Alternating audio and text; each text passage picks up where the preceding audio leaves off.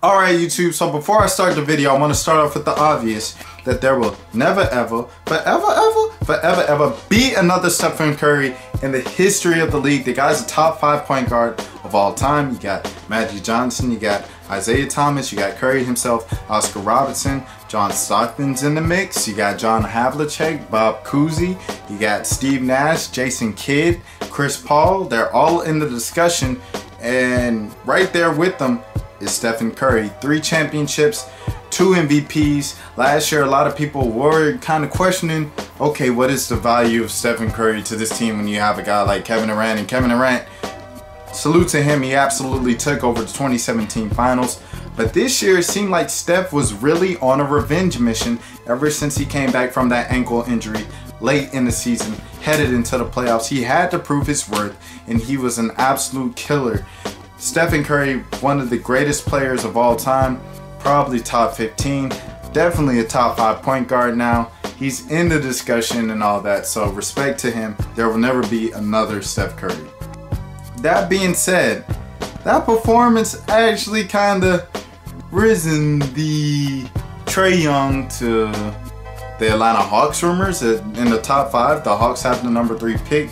There was some talk that the Hawks could potentially trade down to get Trae Young, but you also have teams like uh, Phoenix. I heard Phoenix might trade up into the top 10 to get a Trae Young, or it was one of those teams that wanted to trade up into the top 10 again to get Trae Young. And then you have Orlando at number six, who has forever been linked with Trae Young since the lottery even finished.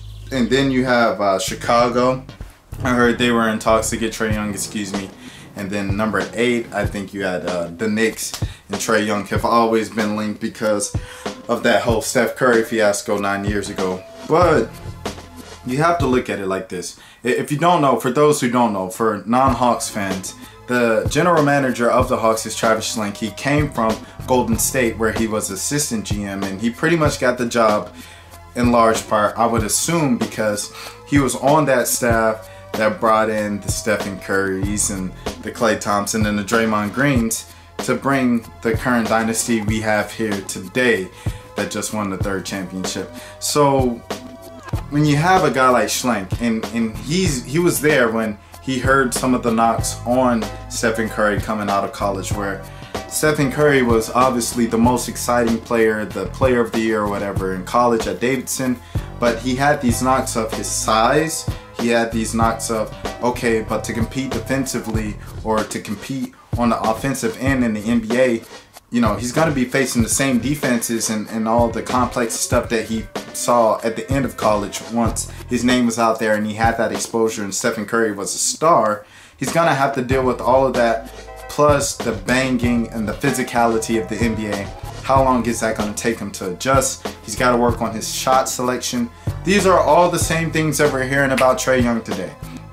So when I hear that and I see that Trae Young has already bulked up a couple of pounds since the lottery or since his last game at Oklahoma, that makes me kind of okay. All right, we have something here. Now, at the end of the season, Trae Young looked absolutely terrible.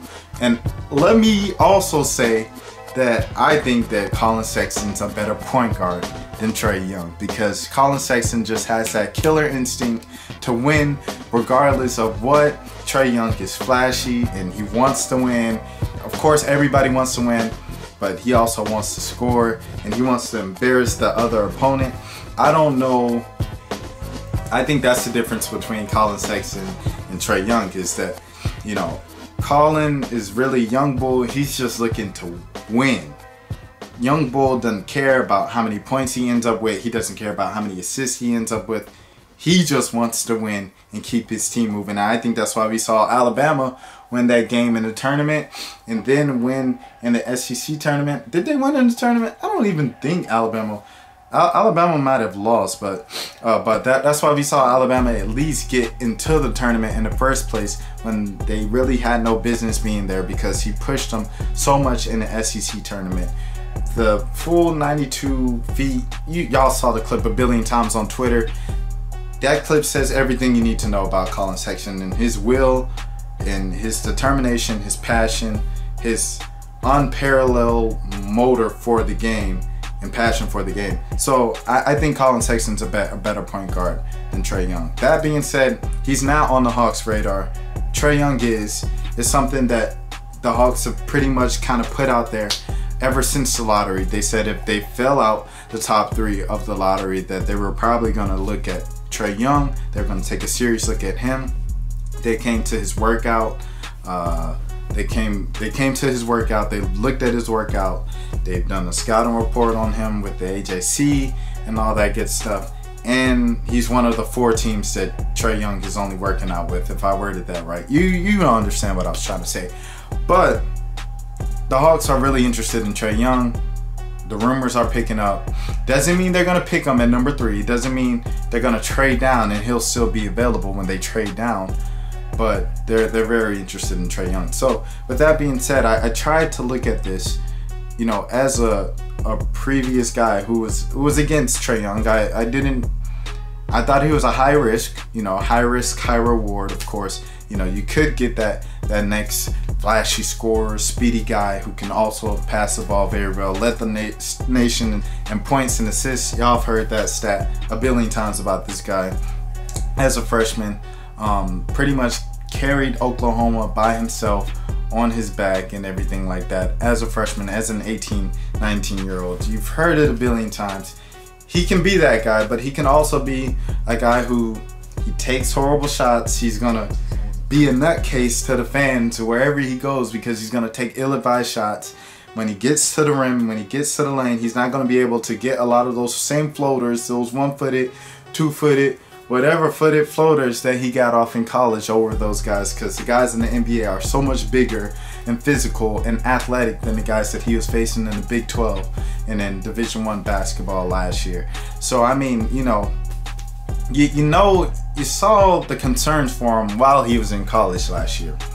So I was one of those guys that was very concerned for him. But looking at this, I'm seeing the high reward, looking at, you know what I'm saying? I Steph and looking at Steve Nash, one of the guys he's he's looking up to, and the fact that you know he will be playing with some better players than he did at Oklahoma, but he's also going to be facing better players than he faced at Oklahoma, so it's a two-way street there.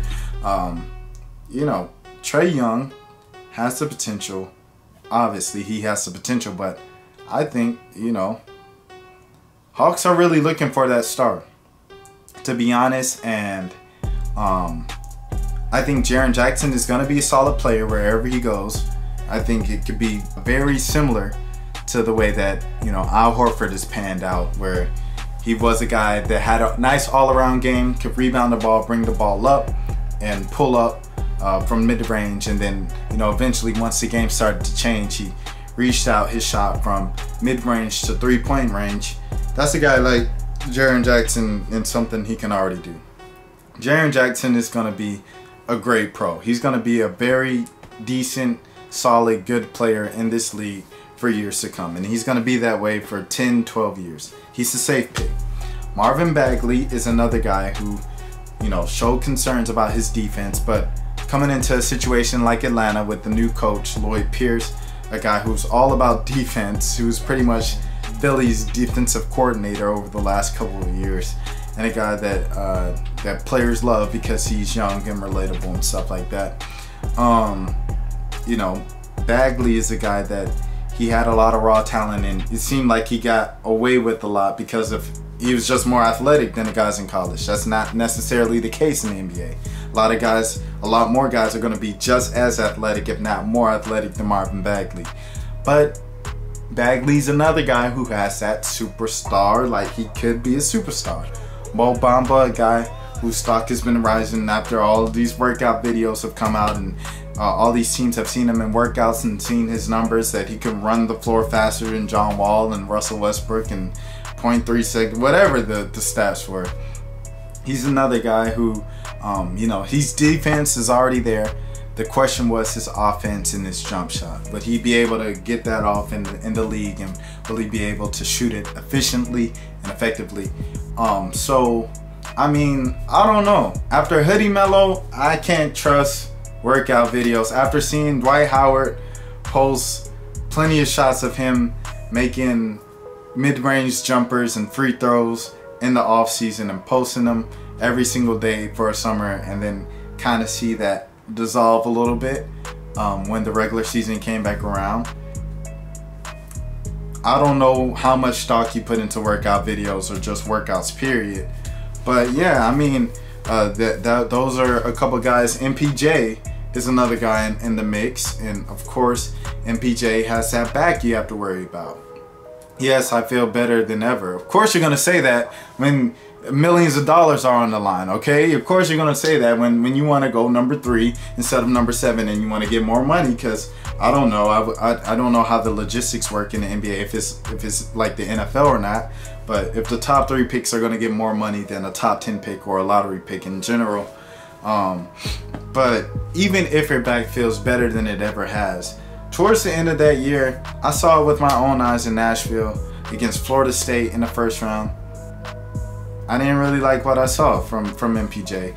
And MPJ is really gonna have to prove me wrong because of course he's got a natural talent. He's got the size, size something you can't teach. He can score the ball at will when he was healthy. Um, we don't know how post injury Porter is gonna look and we don't know if even if he looks like the guy he looked like in high school towards the end there, we don't even know how long he's gonna be able to sustain that before the next injury, and the next injury, and the next injury. So when you see things like that, these these things always just concern you. You know, Blake Griffin, okay, you know he suffered the injury coming into the league. He came back, had a couple of great seasons, but every now and then he's still been battling with injuries. Who's another guy? We look at Joel Embiid. Joel Embiid out for the first year, first couple years coming into the league, getting hurt. And he comes back and he's great. Top five big man in the league. One of the better players in the league, period. But he's still um, tinker with his minutes and this and that. I don't know if I want that off rip. If I know I'm getting a guy that's coming off of an injury those are always so tricky or, or a major injury I should say. Those things are always so tricky to kind of guess so MPJ he's another guy with superstar uh, uh, ability. So you have MPJ you have Marvin Bagley Mo Bamba and Trae Young. Those are the guys that could be the superstars uh, for the guys that are on the Hawks radar right now. And then you have Jaren Jackson who you know is going to be a solid player. He's going to be a good player, great player in the league. Probably he's going to be an all-star for a few years, just keeping it a buck. He's a D&3 guy, very physical, um, can play defense. Any guy that can play uh, defense coming into the league, he gets automatic points because so many guys like a Trae Young or Collin Sexton, they, they get knocked for uh, their, their defense and the defensive efforts and the guys are just known for like taking too many um, risk on defense, always going for the steals, always going for the blocks, the flashy stuff. Uh, so they could get back on offense and do what they do and make the YouTube highlights and blase blase. So that's my take on it. Um, I think Trae Young, at the end of the day, Trae Young, high risk, high reward. Do you want the safe pick at the end of the day or do you want to take a chance on the superstar? If I'm the Hawks, I have nothing to lose because if Trae Young doesn't pan out, then I'm just in the lottery again next year and next year and the year after that. The Hawks haven't traded any of their future picks yet. All they have is more picks coming into them, like Cleveland. I mean, they. I mean, well, the Hawks have Cleveland's pick uh, next year if Cleveland doesn't land in the top ten, and you know how that's gonna go with you know LeBron probably leaving and stuff. So, I mean, hey, at the end of the day, it's a very difficult decision. I haven't even brought up Luka Doncic, uh, Luka Doncic, excuse me, in this video, but um, it's a very difficult decision to make. That's why, you know, GMs have the jobs they have, and why we just watch ex spectators. But I'm thinking if you're the Hawks, you got to pull the trigger on on one of the four guys. High risk, high reward. Um, except for Mo Bamba. I think Mo Bamba, at the very least, is going to be a good defender. So you, you don't really lose with him. But I mean, if you want the flashy guy to, to sell out the seats and bring people to Atlanta, the Highlight Factory, the new renovated Phillips Arena downtown, Trae Young or Marvin Bagley's your guy.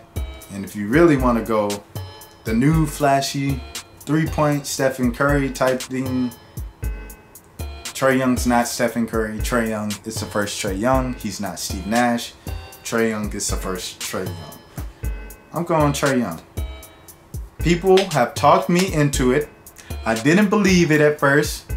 I still think Collin Sexton's a better point guard, but for who's on the Hawks' radar, we have to look at who's on their radar. Collin Sexton isn't on their radar due to all the reports and stuff I've seen.